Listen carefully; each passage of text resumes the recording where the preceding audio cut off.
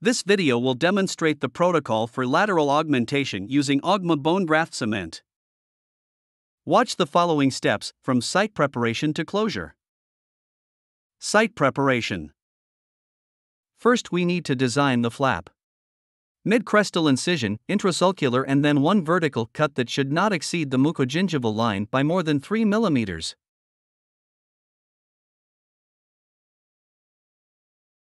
We reflect the flap by introducing the periosteal elevator 3 mm beyond the mucogingival line in all sides. Where we have a defect larger than 3 mm, we go just as much as needed to see the defect, no more. Then continue with a 45 degree angle, 3 mm beyond the mucogingival junction.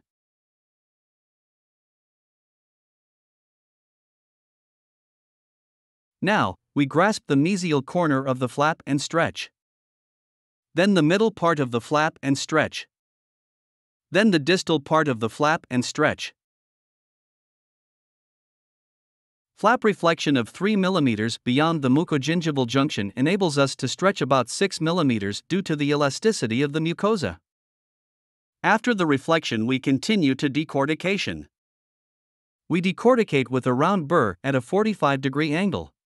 The burr should be large enough, about 3 mm width. When we decorticate the bone, it is very important to go all the way down through the cortex until the spongy bone to improve the outcome.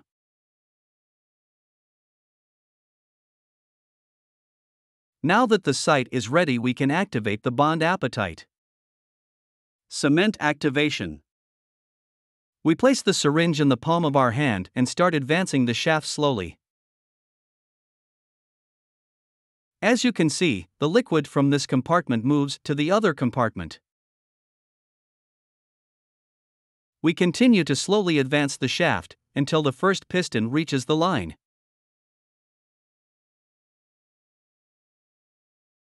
Now we are ready for grafting. Grafting. We remove the cap with a twisting and pulling motion.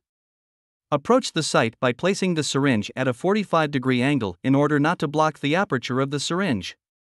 Start ejecting the cement into the site.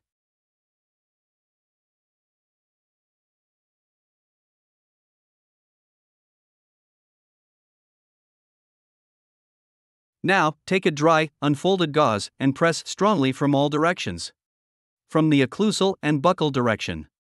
It is important to properly compact the material from all directions.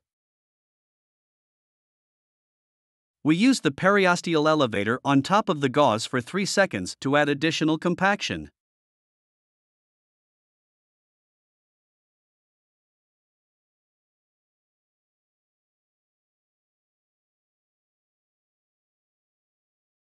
Remove the gauze.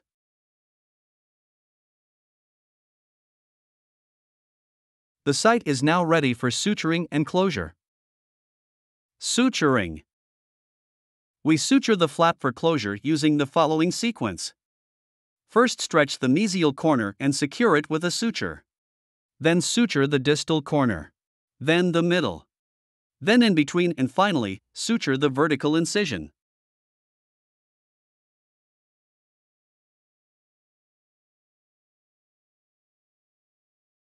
We will now demonstrate the suturing sequence.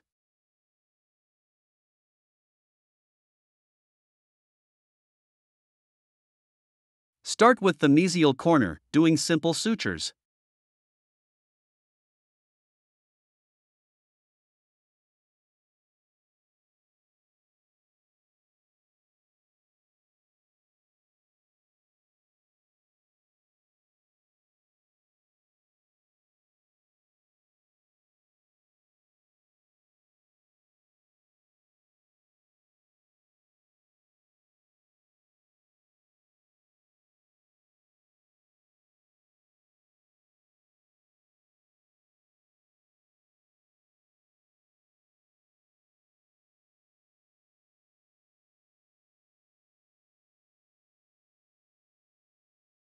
Then the distal corner.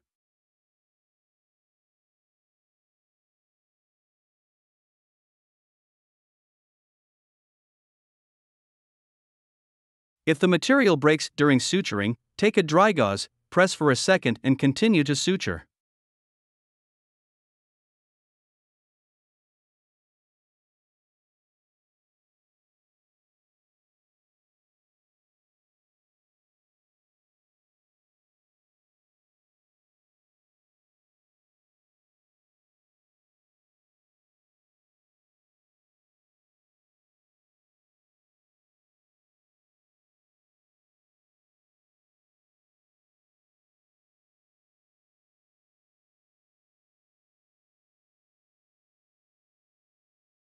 Now, in the middle.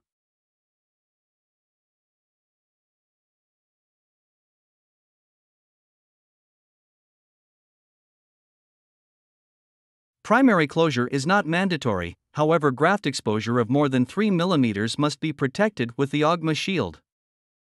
The flap must be with tension, and nothing should be placed between the material and the soft tissue so that the soft tissue is in direct contact with the graft, this is the best way for soft tissue proliferation to take place.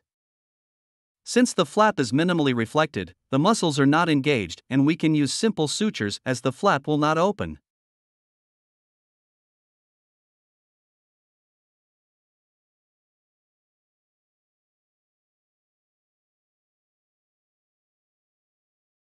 Now we suture in between.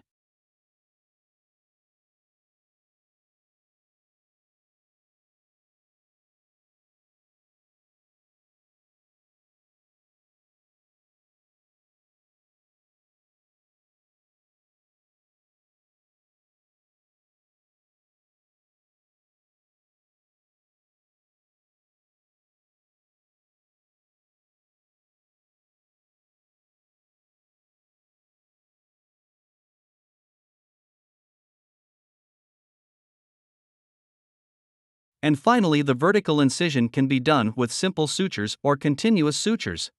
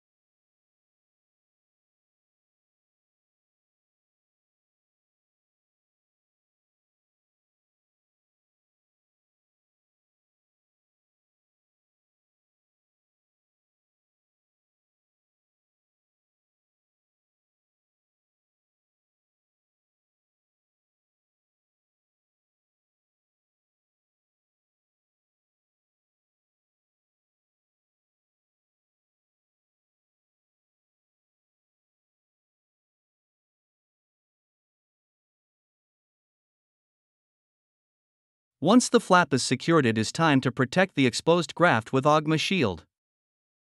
Closure Augma Shield is used to protect the Augma graft as soft tissue proliferates above the material.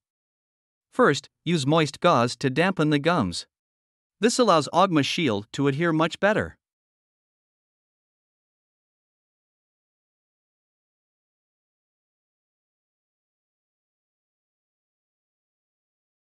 Augma Shield has a matte appearance and comes attached to a transparent carrier layer.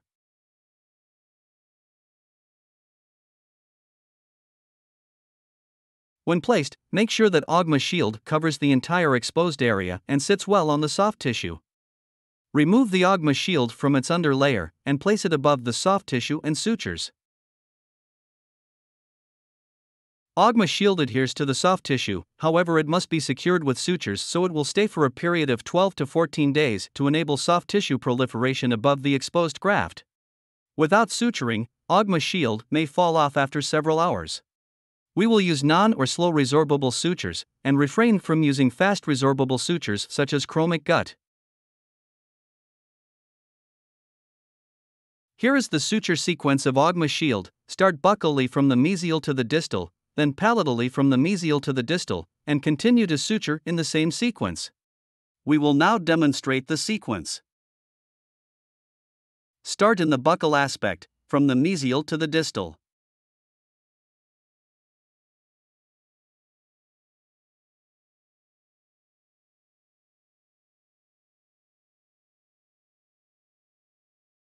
Next, move to the palatal aspect, from the mesial through the distal. It is okay if the needle goes through the Augma shield in this area, however, do not suture through the middle of the Augma shield, as this can cause it to tear.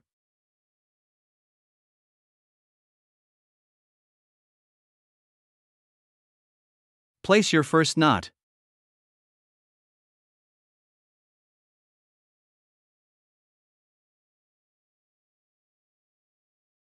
Do not cut the suture's edge. Continue buccally from the mesial to the distal.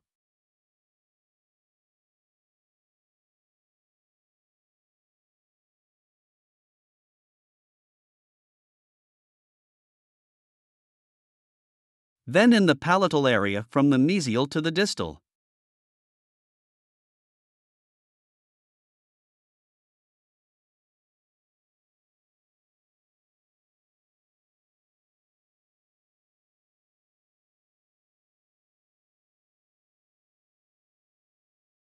Continue to suture in the buccal area, from the mesial to the distal.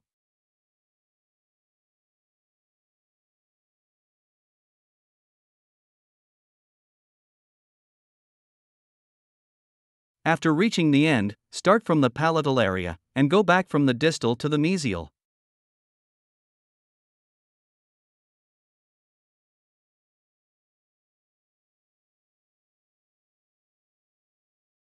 Then buccally, from the distal to the mesial.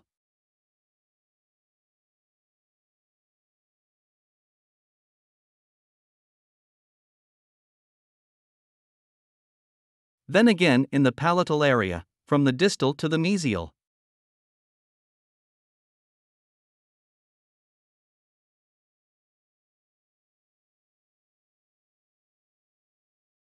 Again, buccally, from the distal to the mesial.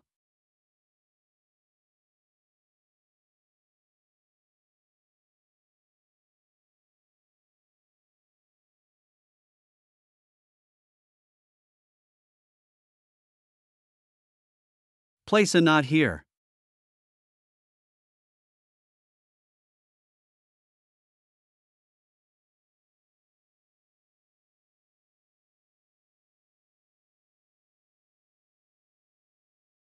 Postoperative instructions to the patient include avoiding toothpicks in the area and refraining from salt water mouth rinses, which will cause the Augma shield to shrink. Any other mouth rinses are acceptable. To summarize, here are the key points for the lateral augmentation protocol. Site preparation. When reflecting the flap, one vertical incision is made no more than 3 mm into the mucosa, then the flap is reflected just enough to expose the entire grafted site. Do not perform periosteal releasing incisions or any soft tissue manipulation to gain tension free. The flap must be with tension. When performing decortication, it is necessary to go down through the cortex to the spongy bone. Cement activation. Push the shaft slowly until the first piston reaches the line. Grafting. Place the Augma bone graft cement in the site, making sure to slightly overfill. Then compact well with a dry gauze for 3 seconds, and add additional compaction with a periosteal elevator. Suturing and closure.